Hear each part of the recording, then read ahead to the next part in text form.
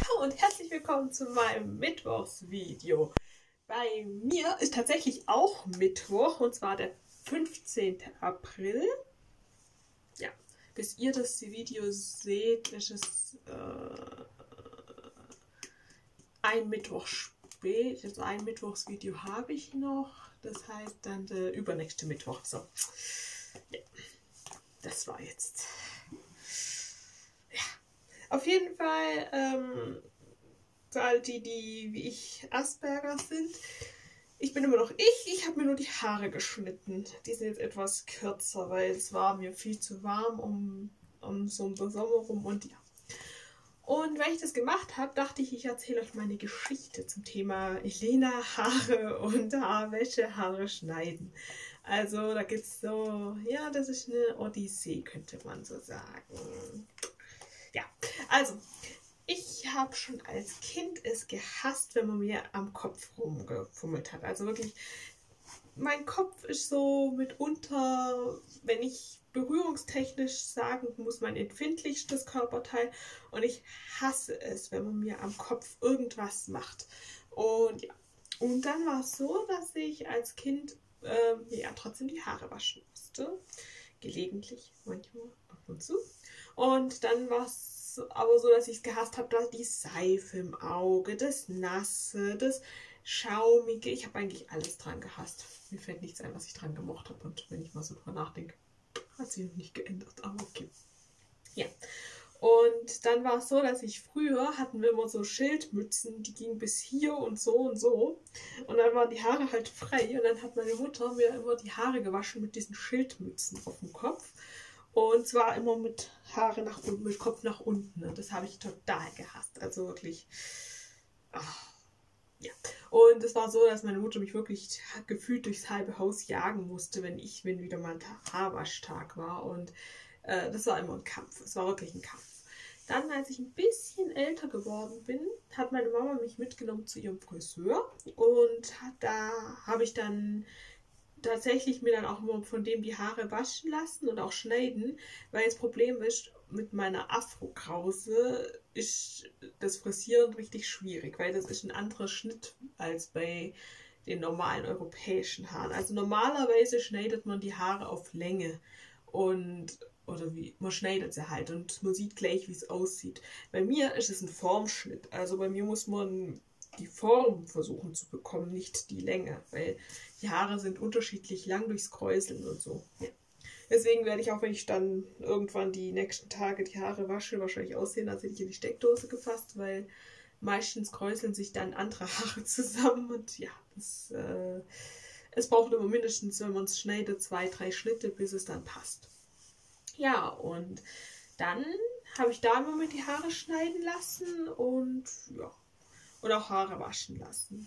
Dann irgendwann ähm, war ich dann, als ich dann noch mal ein Stück älter geworden bin, da war ich dann, glaube ich, so, ja, also zu Schulzeiten schon, da habe hab ich mir dann von meiner, also meine Firmpatin, die hat mir immer auch Nachhilfe gegeben in Mathe und ähm, die hat mir dann auch immer die Haare geschnitten und es ist echt gut gegangen, also das war dann auch gut. Und dann irgendwann, ähm, weil es irgendwie terminzeitmäßig alles und so sich verschoben hat und meine Haare ausgesehen haben, ich habe, glaube so einen Busch am Kopf gehabt, da habe ich dann zu meiner Mama gesagt, ob sie es nicht auch kann. Immerhin schneidet sie auch den Busch vor, unseren, vor unserer Haustür, der ist ja auch mit Formschnitt und wenn der gut aussieht, dann reicht es mir auch. das war so das Motto, reicht doch, ist doch gut. Ja, dann hat meine Mama mir die Haare geschnitten und seitdem schneidet mir eigentlich immer meine Mutter die Haare. Meistens ist es so, dass ich dann nach alle zwei, drei Jahre mir mal die Haare schneide, weil ich einfach dann viel zu lange ist oder weil es mir irgendwie unangenehm ist oder weil es zu warm wird einfach auch mal weil so eine Afrowolle ist echt, ich sage immer zu meiner Mutter, es ist wie bei so, wie bei manchen Tieren, wie Schafen zum Beispiel. Man hat da die Schurwolle, das ist die obere Wolle und unten drunter ist noch ein bisschen eine feinere Wolle und wenn man die nicht frei, also bei mir zumindest, wenn ich die nicht freigelegt kriege, dann schwitzt mein Kopf und kriegt äh, keine Luft und das ist dann sehr unangenehm. Ja, und jetzt schneidet meine Mutter mir immer regelmäßig die Haare und ja, aber das Ding ist, Und etwas, was ich sehr interessant finde für mich auch, also als afroamerikanisch ähm, haartechnisch veranlagter Mensch ist es sehr schwer, auch Shampoo zu finden. Also ich habe da mich durch alles durchprobiert. Erst als Kind hatten wir dieses Shampoo ähm, mit von, von einer ganz teuren Firma, das eben auch gegen Läuse hilft. Meine Mutter hat das immer, sie hat, meine Mutter hat eine Ultraläuse-Paranoia. Also der darf keine Läuse mit nach Hause bringen. Die, die würde mich, die, das wäre so, das war so für sie immer der absolute Horror, Schulbeginnzeit, Läusezeit. Und da hat sie immer so Angst davor gehabt, dass ich welche mit nach Hause schleppe. Habe ich aber nie gemacht. Tatsächlich so eine der Sachen, die ich nicht mitgebracht habe. Ich habe äh, ich habe meinen Hasen mitgebracht, aber das ist eine andere Geschichte. Ähm, ja, ich hatte ja schon mal erzählt. Ja, aber ich, so Häusle habe. Häuser habe ich nie mitgebracht. Dann hatten wir, als ich noch jünger war, irgendwie so eine Pampe von irgendeiner Firma, die für afroamerikanische Haare war. Und die hat so das Zeug war so widerlich. Also ich kann mich bis heute nicht mehr daran erinnern. Also ich weiß noch, dass es so eine weiße Riesenflasche war und so eine rosane. Und die haben so gestunken. Ich hätte jedes Mal am liebsten gekübelt, wenn die mir auf meine Haare gekommen ist. Also die mochte ich gar nicht. Meine Mutter hat immer gemeint, ja, das macht doch, das, das macht toll, es wirkt toll auf deinen Haaren und ich könnte ja nicht irgendwie sowas nehmen wie Schwarzkopf oder ähm, irgendwie so ein Shampoo, sondern ich müsste gucken und aber auf jeden Fall, das Zeug, das war das Und ich war froh, als ich dann, als dann die Firma nicht mehr existiert hat. Das war die einzige Firma, bei der ich mich jemals so gefreut habe, als sie dann nicht mehr existiert hat, weil das Zeug war einfach. Gut.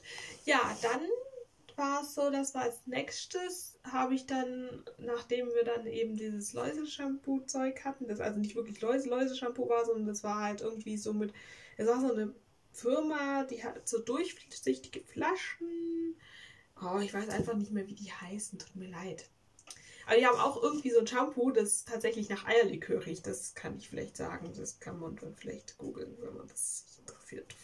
Und das war, also das Eierlikör-Shampoo habe ich gemocht. Das fand ich den Duft so toll. Ja, Eierlikör an sich mag ich nicht so, aber den Duft finde ich cool. Ja, ähm, da danach, nachdem ich dann das hatte, habe ich dann, ähm, ich habe dann viele Shampoos durchprobiert und dann haben wir irgendwann so ein Olivenöl-Shampoo gefunden. Ich weiß auch nicht, ich kann euch leider die Firmen alle nicht mehr sagen. Ich weiß bloß noch, was drin war. Und das war dann auch eine Weile ganz gut und irgendwie habe ich aber immer so das Gefühl gehabt, meine Haare sind total fettig und ich hatte immer so riesengroße Fettflatschen auf, dem, auf meinem Schädel. Das hat mich irgendwie immer dann total genervt. Und dann irgendwann habe ich mich dann mal eine Zeit lang ich gedacht, ich lege mir eine Perücke, Perücken zu. Und dann war ich bei einem Friseur mit einer Bekannten, die ebenfalls Afro-Krause hatte. Hat, ja, inzwischen sind wir noch nicht mehr bekannt. Die Geschichte ist auseinandergegangen. Also das war damals nur keine Freundin. Auf jeden Fall hat die sich dann ähm, von dem beraten lassen und der hat dann gesagt, für unseren Haartyp gibt es nichts Besseres als Anti-Frizz-Shampoo. Und das habe ich dann gehört und habe mir das gespeichert in meinem Köpfchen. Und aber die Firma, die er, die er empfohlen hat, die war arschteuer. Und dann irgendwann kam Sios in die Regale und dann habe ich das gelesen, dass die dann Anti-Frizz-Variante haben und die habe ich mir dann Shine Boost, Boost, Boost oder so heißt die.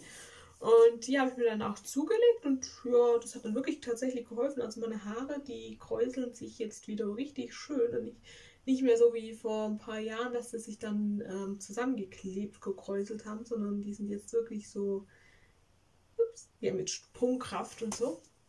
Ja, und äh, dann habe ich aber irgendwann gemerkt, dass ich, dass das Zeug äh, schwer zu bekommen war, weil bei uns in der Gegend hat es irgendwie kaum einer gekauft. Und dann habe ich eben weiter geguckt und dann bin ich jetzt zum Veleda äh, Calendula Shampoo übergegangen. Also es ist Wasch und Shampoo.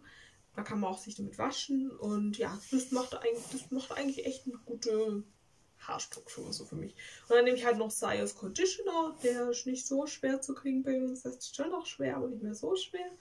Und ja, und damit pflege ich jetzt so meine Haare. Gut, jetzt habe ich echt viel über meine Haare erzählt, aber das ist jetzt halt so. Ja, und gut, das war alles, was ich dazu sagen kann. Ähm, schreibt mir mal gerne in die Kommentare, ob ihr diese Probleme kennt und ob ihr auch so oft Shampoo wechseln müsst. Ihr könnt mir auch gerne auf Twitter oder Facebook schreiben oder eine E-Mail an die bell.treatmentoutlook.com. Ich wünsche euch jetzt noch eine wunderschöne Zeit. Wir sehen uns wieder. Bis dann. Tschüss.